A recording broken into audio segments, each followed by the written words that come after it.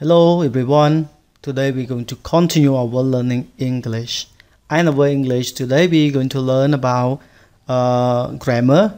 And our grammar that we focus on uh, part of speech. Part of speech today we're going to learn about how to write compound words or how to write compound noun in English language.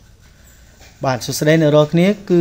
ដូចដែលយើងបានរៀនមកហើយគឺមេរៀនយើងបានសិក្សាចំនួន2មេរៀនហើយរបៀបនៃការសរសេរ compound noun គឺនាមសំនាមពីរចូលគ្នា ថាយើងសរសេរវារបៀបណា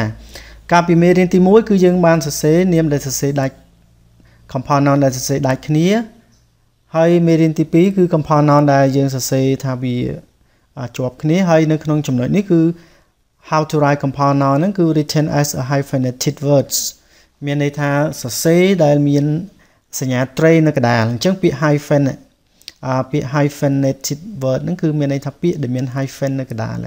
បងប្អូនឃើញកន្លែងនេះឃើញទេនេះ hair dryer hair dryer ហ្នឹងគឺមានន័យថាប្រដាប់ផ្លុំសក់ប្រដាប់សម្រាប់ធ្វើឲ្យសក់ស្ងួតអញ្ចឹងបងប្អូនឃើញមានអា hyphen hyphen ហ្នឹងគឺសញ្ញាត្រីមួយនៅកណ្ដាលបងប្អូនឃើញទេអាហ្នឹងហើយគេហៅថារបៀបនៃការសរសេរ compound word ឬ compound noun ហ្នឹងដែលមាន hyphen នៅកណ្ដាលដែលអង់គ្លេសគេហៅថា written as hyphenated words ហើយខ្ញុំសូមរំលឹកបងប្អូនថាមាននាមខ្លះគឺសរសេរអឺលក្ខណៈថាមិនបាច់មាន hyphen ក៏បាន ដាក់ hyphen ក៏បានអត់មានបញ្ហាណាប៉ុន្តែបងប្អូនត្រូវចំណាំផងអូខេតោះឥឡូវយើងដើម្បីកុំឲ្យខាតពេលយើងរៀនតែម្ដងអញ្ចឹង hair hair dryer នោះគឺប្រដាប់ផ្លុំសក់អូខេអញ្ចឹងពេលនេះគឺសរសេរលក្ខណៈជាដកជា hyphen នៅកណ្ដាល pocket money pocket money គឺលុយសម្រាប់លុយប្រចាំកប៉ាល់ ដូចបងប្អូនតាណាមកណាហ្នឹងគឺត្រូវមានលុយនៅប្រចាំកប៉ាល់អូខេអ្នកខ្លះតាណាមកណាអត់ pocket money ហ្នឹងចង់ហូបទឹកស្ដាយម្ដងអីខ្ចីគេអញ្ចឹងទៅឬក៏ចាក់សាំងម៉ូតូ1លីត្រអីចឹងជពាក់គេអញ្ចឹងទៅអាហ្នឹងក៏គេហៅថាអត់មាន pocket money អាហ្នឹងអញ្ចឹងត្រូវតែមាន pocket money លុយប្រចាំកប៉ាល់អឺ fire engine fire engine មានន័យថាម៉ាស៊ីនអឺម៉ាស៊ីនភ្លើងប៉ុន្តែពាក្យហ្នឹងមិនមិន ម៉ាស៊ីនភ្លើងទេពាក្យ fire ហ្នឹងភ្លើងពាក្យ engine ហ្នឹងម៉ាស៊ីនក្នុងហ្នឹងគឺគេចង់និយាយអំពីម៉ាស៊ីនផលិតឡានផលិតអគ្គិភ័យទេណាបងប្អូនកុំច្រឡំថា fire engine ហ្នឹងម៉ាស៊ីនម៉ាស៊ីនភ្លើងមែនទេអញ្ចឹង fire engine មានន័យថាឡានផលិតអគ្គិភ័យអញ្ចឹងគេសរសេរជា hyphenated word សរសេរពាក្យដែលមានសញ្ញា tray នៅកណ្ដាលបងប្អូនឃើញទេអូខេឥឡូវពាក្យមួយទៀតគឺ rush hour rush hour ហ្នឹងគឺមានន័យថាពេលវេលាដ៏មមាញឹក អញ្ចឹងគេសរសេរវាមានពាក្យ rush ហើយនិងពាក្យ hour សរសេរដាក់ចូលគ្នាអញ្ចឹងណាអញ្ចឹងគេមាន hyphenated គេមានសញ្ញាត្រីមួយនៅកណ្ដាលគេ rush hour ពេលដ៏មមាញឹក safety belt safety belt ហ្នឹងគឺសំដៅលើខ្សែក្រវ៉ាត់សុវត្ថិភាព ជាពិសេសគឺនៅពេលបងប្អូនជិះឡានណាគឺត្រូវតែពាក់ខ្សែក្រវ៉ាត់សុវត្ថិភាពអញ្ចឹងពាក្យ safety ហ្នឹងគឺជា noun ប្រែថាសុវត្ថិភាពហើយពាក្យ bell bell ហ្នឹងគឺខ្សែក្រវ៉ាត់អញ្ចឹងពាក្យពីរហ្នឹងបូកចូលគ្នា safety bell ហ្នឹងគឺខ្សែក្រវ៉ាត់សុវត្ថិភាពឡាន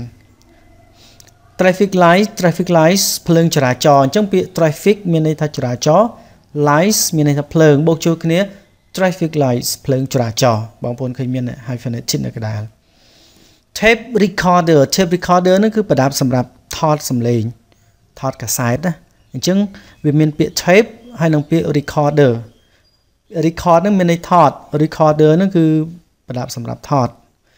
petrol tank petrol ហ្នឹងគឺមានន័យថាសាំង សាំងយើងចាក់ឡានម៉ូតូហ្នឹង tank tank ហ្នឹងគឺសំដៅលើធុងឬក៏កតែនសម្រាប់ផ្ទុកអញ្ចឹង petrol tank ហ្នឹងគឺធុងសាំងឬក៏កតែនសាំង sunglasses sunglasses ហ្នឹងគឺមានន័យថាវ៉ែនតាការពារកម្ដៅថ្ងៃវ៉ែនតាការពារព្រះអាទិត្យ glass sun sun ហ្នឹងព្រះអាទិត្យ glasses ហ្នឹងគឺវ៉ែនតាហើយបងប្អូនឃើញអាពាក្យ sunglasses ហ្នឹងពេលខ្លះគេសរសេរអឺជា one word គេសរសេរតែមួយពាក្យអត់មានដក clear ឬក៏ពេលខ្លះគេសរសេរមាន hyphen នៅកណ្ដាលណាអញ្ចឹងខ្ញុំចង់ប្រាប់បងប្អូនថារបៀបនៃការសរសេរអ្នកអាពាក្យខ្លះគឺសរសេរដាច់ក៏បានសរសេរមិនដាច់គ្នាក៏បានអា compound word ហ្នឹងបងប្អូនត្រូវចំណាំផងអូខេឥឡូវយើងចូលដល់ចំណុចមួយទៀតគឺអារបៀបនៃការបង្កើត compound word ប៉ុន្តែគឺការបង្កើត compound word នេះ យើងបង្កើតជាមួយ noun ឬក៏បង្កើតជាមួយនឹង present participle ឥឡូវបងប្អូន claim មើលនេះ written as compound nouns by using noun and present participle អញ្ចឹងគេថា written as compound nouns ការសរសេរអឺជា compound noun by by នឹងដោយ by using noun ដោយការប្រើប្រាស់នាម and និង present participle present participle នោះគឺ គេសំដៅលើកិរិយាសព្ទបុក ing កិរិយាសព្ទបុក ing គឺគេហៅថា present participle ឥឡូវបងប្អូនកលេចមើលពាក្យ live live រស់នៅអញ្ចឹង living ការរស់នៅអាហ្នឹងគេឲ្យឈ្មោះថា present participle អូខេឥឡូវដើម្បីកុំឲ្យខាតពេលឥឡូវយើងមើលនេះអាពាក្យទី1នេះគឺ air conditioning air conditioning ហ្នឹងគឺម៉ាស៊ីនត្រជាក់ air conditioning ម៉ាស៊ីនត្រជាក់បងប្អូនកលេចមើលមានពាក្យនេះ air conditioning អូខេម៉ាស៊ីនត្រជាក់កន្លែងចំណុចនេះគេចង់ប្រាប់បងប្អូនថា air នឹងជា noun ជានាមហើយបន្តមកបានយើងបូក conditioning អូខេ conditioning ប្រែម៉ាស៊ីនត្រជាក់គេសរសេរមាន hyphen នៅកណ្ដាលលើយើងរៀនមិញហ្នឹងហមួយទៀតគឺ dining room dining room ហ្នឹងគឺបន្ទប់ញ៉ាំអាហារល្ងាច dining room បន្ទប់ញ៉ាំអាហារល្ងាចអញ្ចឹងវាមានពាក្យ dining បន្តមកមានពាក្យ room បន្ទប់ញ៉ាំអាហារល្ងាចគេសរសេរដាច់គ្នាហ្នឹង compound noun នេះ អឺគាត់នៅកន្លែងនេះគឺចង់ប្រាប់បងប្អូនថា dining ហ្នឹងវាគឺជា វាគឺជាអ្នក present participle មានន័យថាកិរិយាសព្ទបូកឲ្យ ing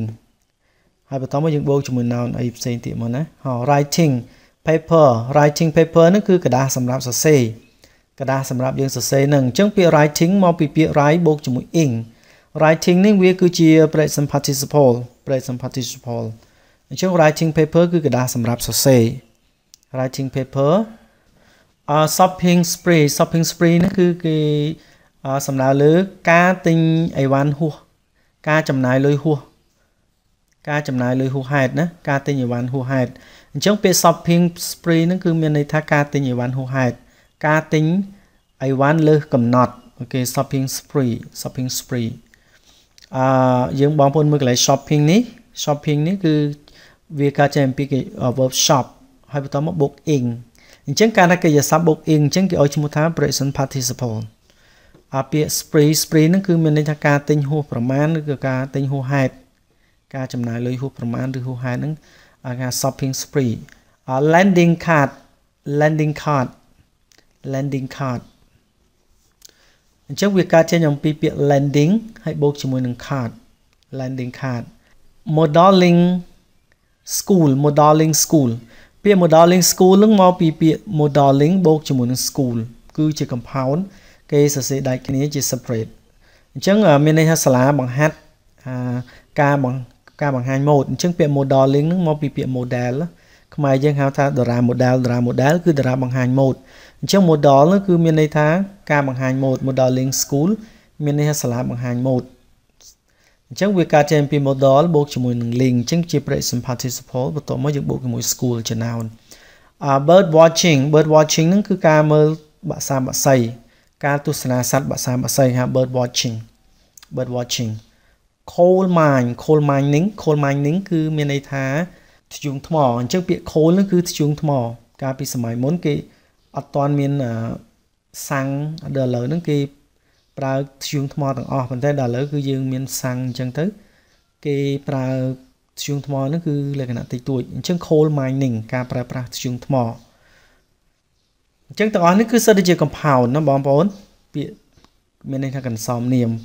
ហើយកន្សំនាមនេះគឺដូចដែលយើងបាននិយាយអញ្ចឹងនេះគឺ participate participle បូកជាមួយនឹង noun អញ្ចឹងទៅណាអូខេឥឡូវ living room បងប្អូនក្លេមើលពាក្យ living room គឺមានន័យថាបន្ទប់ទទួលភ្ញៀវ living room បន្ទប់ទទួលភ្ញៀវអញ្ចឹងវាមានពាក្យ living ហ្នឹងគឺជា present participle ហើយពាក្យ room គឺបន្ទប់ sun basing sun basing ហ្នឹងគឺមានន័យថាការដេកហាលថ្ងៃមកពីពាក្យ sun ហើយ basing អញ្ចឹងគឺគេសរសេរជាប់អញ្ចឹងបងប្អូនត្រូវចាំថាពេលខ្លះ compound word ខ្លះសរសេរដាច់គ្នាពេលខ្លះជាប់គ្នាបងប្អូនឆ្ងល់ថាចិត្តខ្ញុំធ្វើមិនចាំទៅបើអញ្ចឹងអញ្ចឹង the more you learn the more you know the more you read the more you know the more you practice the more you know អញ្ចឹងមានន័យថាបងប្អូនអានច្រើនបងប្អូនដឹងច្រើនបងប្អូនរៀនច្រើនចេះច្រើនអញ្ចឹងពាក្យខ្លះលុះត្រាបងប្អូនធ្លាប់ជួបមិនដឹងណា shopping center មជ្ឈមណ្ឌលមជ្ឈមណ្ឌលទិញអីវ៉ាន់អញ្ចឹងវាមានពាក្យ shopping ហើយ center អូខេអញ្ចឹង shopping ការទិញអីវ៉ាន់ center មជ្ឈមណ្ឌលអញ្ចឹងមជ្ឈមណ្ឌលទិញអីវ៉ាន់មានន័យថាកន្លែងយើងទិញអីវ៉ាន់ waiting list មានន័យថាបញ្ជីរងចាំអូខេ waiting list បញ្ជីអ្នករងចាំណា waiting list ពាក្យ waiting ការរងចាំ list នឹងគឺបញ្ជី reading book reading book គឺសៀវភៅអានសៀវភៅសម្រាប់អានអញ្ចឹងពាក្យ reading ហ្នឹងគឺការអាន book book ហ្នឹងសៀវភៅអញ្ចឹង reading book សៀវភៅសម្រាប់ការអានយើងនិយាយថាសៀវភៅអានហ្នឹងទៅ motor racing motor racing ហ្នឹងគឺការប្រណាំងការប្រណាំងឡាន ការប្រណាំងម៉ូតូហ្នឹងគឺ motor racing ពាក្យអឺ ពាក្យ racing ហ្នឹងមានន័យថាការប្រណាំងហើយពាក្យ motor motor ហ្នឹងគឺសំដៅលើគ្រឿងម៉ាស៊ីនអឺ weight weight ហ្នឹងគឺទម្ងន់ lifting ហ្នឹងគឺការលើកមកពីពាក្យ lift ហ្នឹងលើកអញ្ចឹង weight lifting ហ្នឹងគឺការលើកទម្ងន់ការលើកទម្ងន់ weight lifting ការលើកទម្ងន់ changing room changing room មានន័យថាបន្ទប់បដូរសម្លៀកបំពាក់ changing room បន្ទប់បដូរសម្លៀកបំពាក់អញ្ចឹងពាក្យ changing ហ្នឹងការផ្លាស់ប្ដូរ មកពីពាក្យ chang ហើយយើងបូក ing មកដើម្បីបានជា present participle វាទៅជានាមអញ្ចឹងកិរិយាសព្ទដែលបូក ing គឺទៅជានាមហើយអឺប៉ុន្តែមានពេលខ្លះកិរិយាសព្ទ book ing វាទៅជាការផ្សេងផ្សេងដូចជាការ present continuous ប្រែកំពុងឬក៏អីផ្សេងផ្សេងទៀត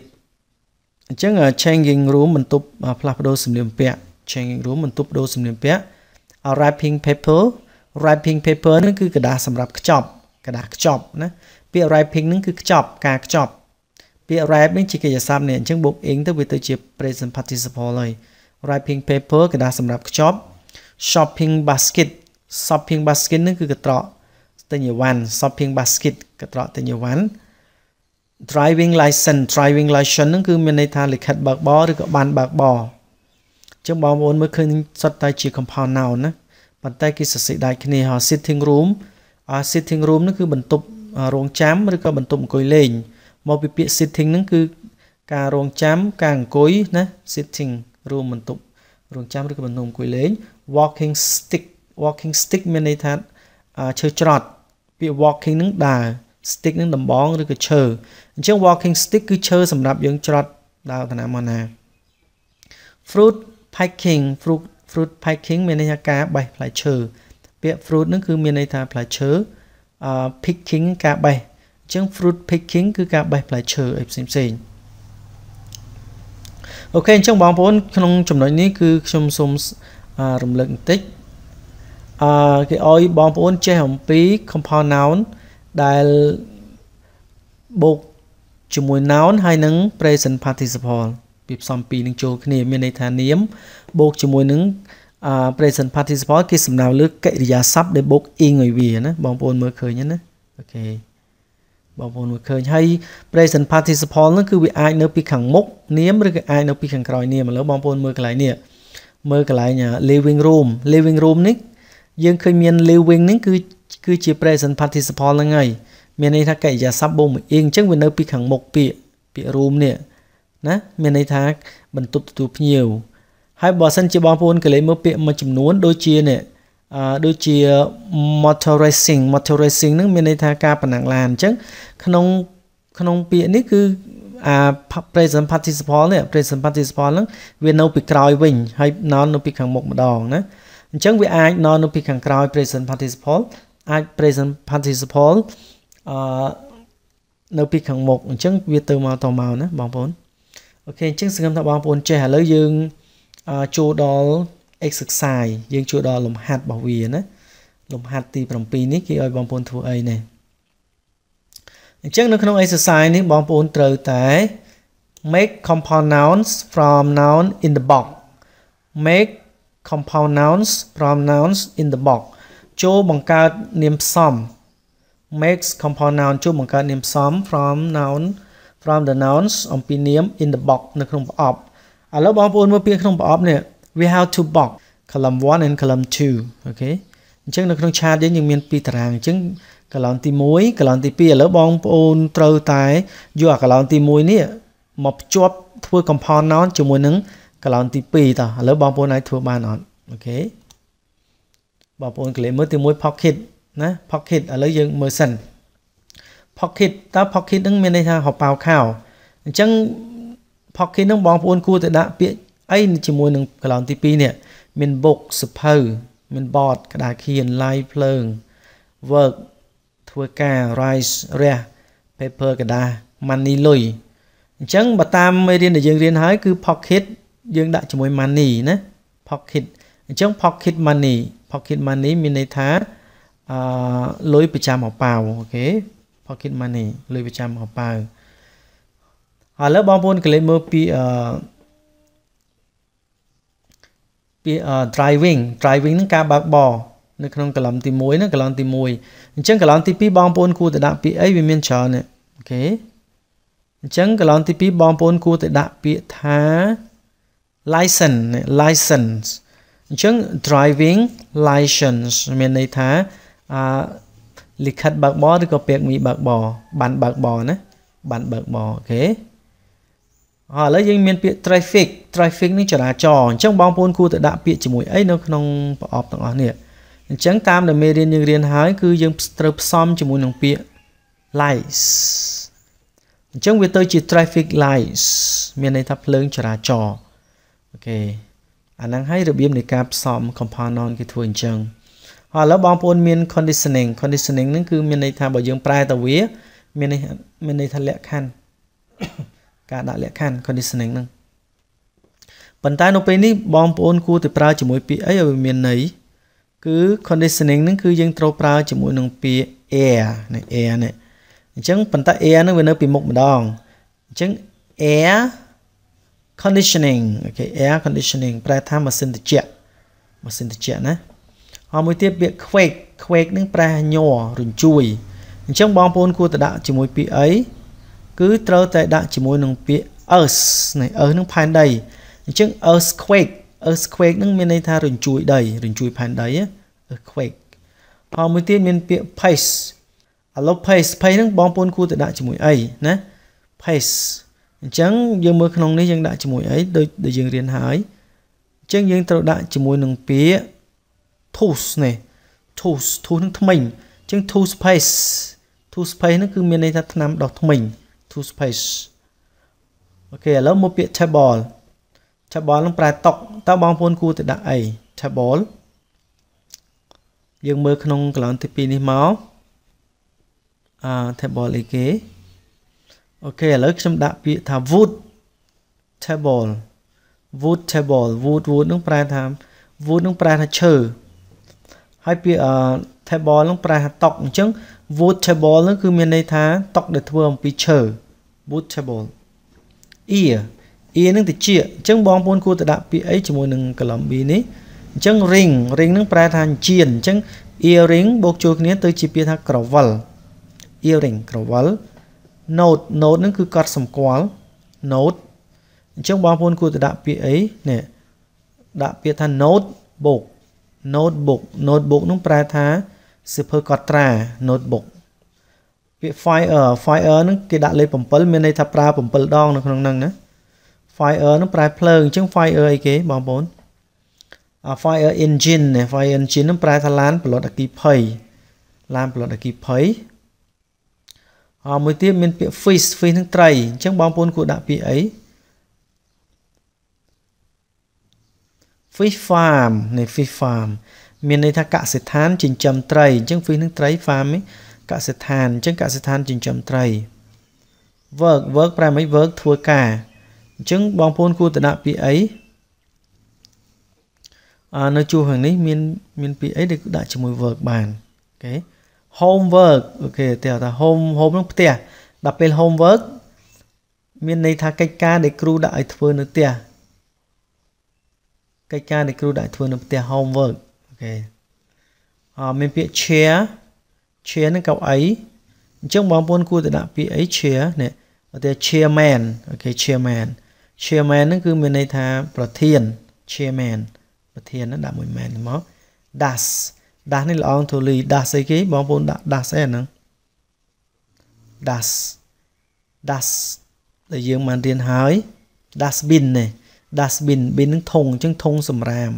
dustbin ធុងសម្រាម brush brush ហ្នឹងគឺច្រាស អញ្ចឹងបងប្អូនដាក់ជាមួយអីដាក់ជាមួយពាក្យ tooth tooth នឹងថ្មិញ toothbrush ច្រាសដុសថ្មិញ pot pot ហ្នឹងគឺកន្លែងចំណតឡានឬក៏យន្តហោះអញ្ចឹងដាក់អីគេកន្លែងនេះបងប្អូនមើលនេះដាក់ air អញ្ចឹងគឺ air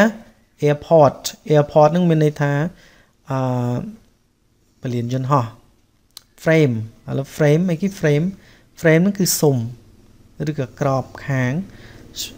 គេប្រើពាក្យ frame អញ្ចឹង frame អីគេ framework អញ្ចឹងបងប្អូនកន្លែងណាមានពាក្យ work picture frame អញ្ចឹងដាក់ជាមួយ picture picture ណា picture picture frame ជា picture frame ហ្នឹងគឺមានន័យថាអឺសុំរូបថតពេល picture នោះប្រែរូបភាពឬក៏រូបថត picture frame សុំសុំរូបថតពាក្យ clock clock ហ្នឹងគឺនាឡិកាអញ្ចឹងកន្លែងហ្នឹងគេដាក់ថាម៉េចដាក់ជាមួយអី alarm នេះ alarm alarm clock alarm clock ហ្នឹងគឺមានន័យថានាឡិការោនាឡិកាសម្រាប់ដាស់ភ្ញាក់ alarm clock bus bus ហ្នឹងគឺមានអាងទឹក bus អីគេអឺ bathroom នេះ bathroom ហ្នឹងគឺមានន័យថាបន្ទប់ទឹក bathroom អឺពាក្យ safety safety ហ្នឹងសុវត្ថិភាពអញ្ចឹង safety safety បងប្អូនដាក់ជាមួយអី safety belt នេះ belt នេះខ្សែក្រវ៉ាត់អញ្ចឹងខ្សែក្រវ៉ាត់សុវត្ថិភាព ណា tin tin នឹងកំប៉ុងតើបងប្អូនគួរតែដាក់ជាមួយអីនៅក្នុងមេរៀនយើងនេះ tin opener tin opener ណា tin openers tin openers អឺប្រដាប់សម្រាប់បើកកំប៉ុងមានន័យថាប្រដាប់សម្រាប់កោះកំប៉ុងឬក៏បើកកំប៉ុងហ្នឹងគេហៅថា tin opener tin opener ប្រដាប់សម្រាប់បើកកំប៉ុងណា news news នឹងព័ត៌មាន newspaper នៃ newspaper newspaper នឹងមានន័យកាសែត newspapers កាសែតហើយមកពាក្យ port port នឹងប្រើជាមួយអីមិញ airport ណា airport នឹងប្រែថាពលានយន្តហោះតមកទៀតមានពាក្យអឺ work work នឹងមានន័យថាការងារ work book ឧទាហរណ៍ work book មានន័យថាសភៅការងារសភៅដែលសម្រាប់ធ្វើលំហាត់ណា work book សភៅការងារសភៅសម្រាប់ធ្វើលំហាត់ notice notice board notice board មានន័យថាក្តារសម្រាប់បិទប្រកាស notice board ក្តារសម្រាប់បិទប្រកាសណាអញ្ចឹងពាក្យ notice យើងដាក់ជាមួយ board sun sun ហ្នឹងព្រះអាទិត្យអញ្ចឹងបងប្អូនដាក់ sun អី sunrise នេះ sunrise ពេលព្រះអាទិត្យរះអញ្ចឹង sun ហ្នឹងគេដាក់លេខ2គឺមានន័យថាប្រើពីរដងអញ្ចឹងពាក្យ sun ហ្នឹងបងប្អូនអាចប្រើជាមួយអីទៀត sunset នេះ sunset ហ្នឹងប្រែថាពេលថ្ងៃលិចអញ្ចឹង sunrise ថ្ងៃរះ sunset លិច football football ហ្នឹងមានន័យថាបាល់ទាត់អញ្ចឹង football អីគេ football match football match football match match នឹងការប្រកួតអញ្ចឹង football match ការប្រកួតបាល់ទាត់ណាហើយពាក្យ house house ហ្នឹងគឺមានន័យថាផ្ទះ house housework house មានន័យថាផ្ទះអញ្ចឹងបងប្អូនដាក់ពាក្យអី